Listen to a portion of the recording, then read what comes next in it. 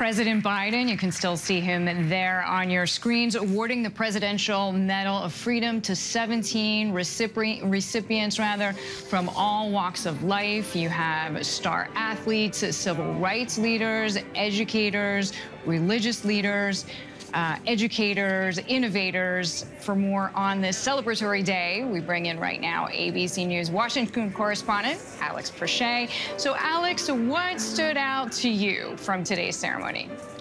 Well, Deidre, I think you, you hit the nail on the head. The diversity of the 17 recipients. You have educators, you've got uh, military members, you've you've got clergy, you've got politicians on both sides of the aisle. At least uh, two former Republican senators, along with uh, former Representative Gabby Giffords. Uh, you've got uh, Steve Jobs, civil rights icons, and then of course these Olympians.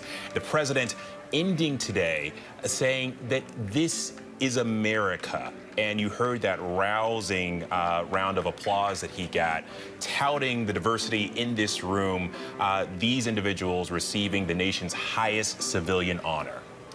Alex, this is really such a feel-good moment, which I think collectively we all need. I mean, this event is coming amid an exhausting few months. We have these controversies over recent Supreme Court rulings, the constant tension over gun control, deadly shootings, concerns about the economy. What does this day mean for the Biden administration?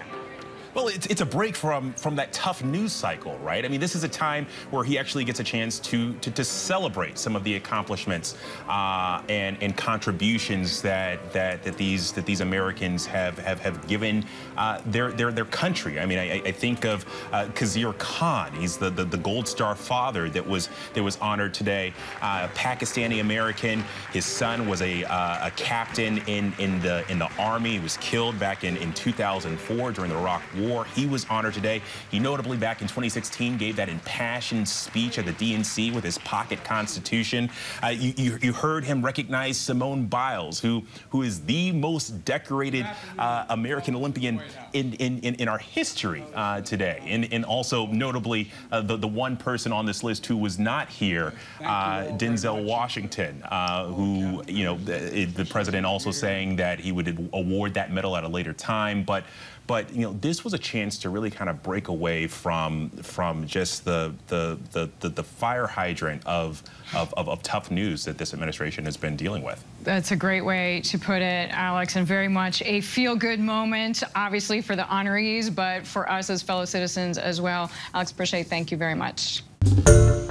Hi, everyone. George Stephanopoulos here. Thanks for checking out the ABC News YouTube channel. If you'd like to get more videos, show highlights, and watch live event coverage, click on the right over here to subscribe to our channel. And don't forget to download the ABC News app for breaking news alerts. Thanks for watching.